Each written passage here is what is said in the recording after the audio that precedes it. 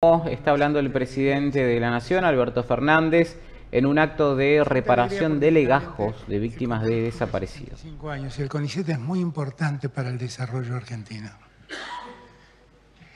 Yo he participado en estos cuatro años en un montón de cumbres internacionales. En ninguna cumbre estuvo ausente el tema de la ciencia y la tecnología. En ninguna. En ninguna cumbre estuvo ausente el tema del conocimiento. ¿Y saben por qué es eso? Porque el mundo sabe que el futuro de la humanidad depende del desarrollo científico y tecnológico. Lo sabe, claro que lo sabe. Y a mí me parece asombroso que estemos discutiendo estas cosas en Argentina. Me parece asombroso. Porque el argumento que se da por el cual nosotros no debemos desarrollar la ciencia y la tecnología es que hay otros en el mundo que están preparados para eso, más preparados que nosotros. Por favor, cinco premios Nobel salidos de la Universidad Pública Argentina. Si alguien duda de lo que es la ciencia y la tecnología argentina, vayan al INVAP. Yo he visto cómo están reparando Atucha 2 y vi cómo están poniendo en Lima el prototipo de una nueva central de energía nuclear para la zona, totalmente e íntegramente desarrollado por INVAP. ¿Quieren conocer la calidad de nuestros científicos? Vayan a nuestras universidades, vayan a ver el Balseiro. ¿Quieren saber qué son capaces de hacer nuestros científicos? Vean lo que hicieron en la pandemia. Vean que estamos terminando en este momento de construir nuestra propia vacuna contra el COVID. ¿Y quiénes la hicieron? Nuestros científicos. Reconocidos aquí en todo el mundo. Ahora, finalmente la ciencia. ¿Qué es lo que busca? Mejorar las condiciones de vida de la gente. Y eso es lo que debería importarnos a todos los que hacemos política. Y cuando alguien dice, la mejora de la vida de la gente, voy a importarla, voy a dejarla en manos privadas, lo que le está diciendo al mundo es que no le importa mejorar la vida de la gente. Eso está diciendo.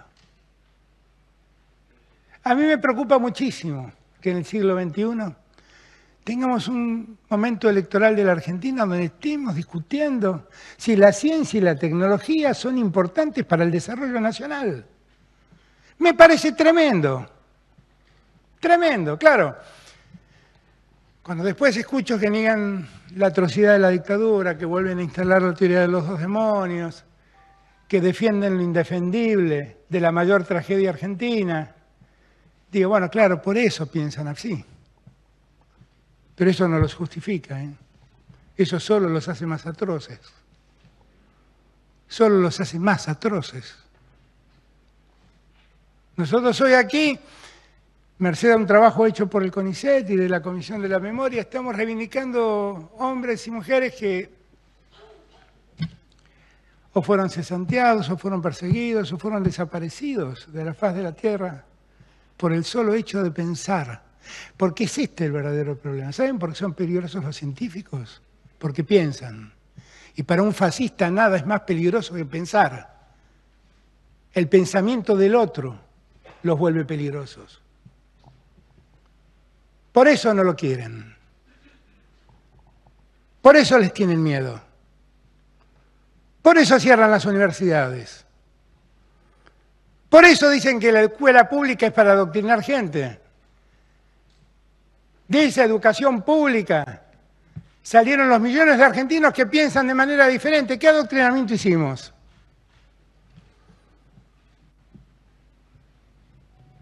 Yo los he visto ustedes reaccionar frente al,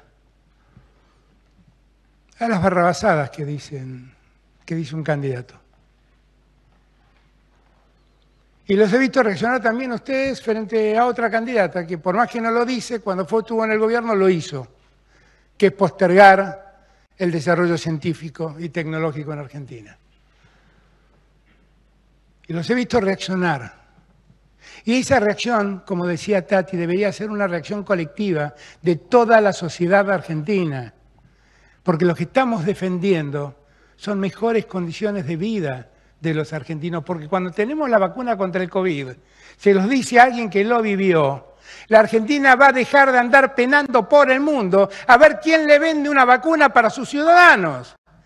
Y sabe que va a tener... Bien, allí la palabra del presidente Alberto Fernández en el Centro Cultural de Ciencia, donde se está entregando legajos de víctimas desaparecidas, de víctimas del terrorismo de Estado.